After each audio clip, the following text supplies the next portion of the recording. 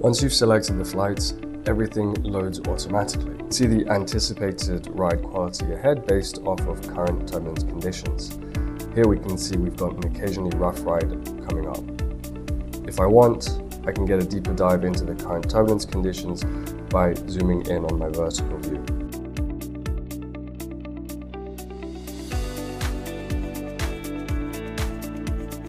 SkyPath triggers notifications of upcoming turbulence to provide pilots with optimal situational awareness. Caution, turbulence detected.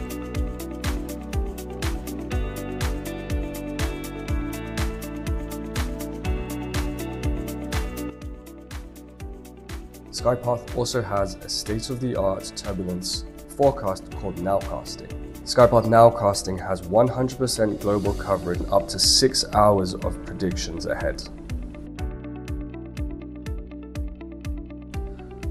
While in flight, pilots can easily submit a PIREP from the PIREP menu.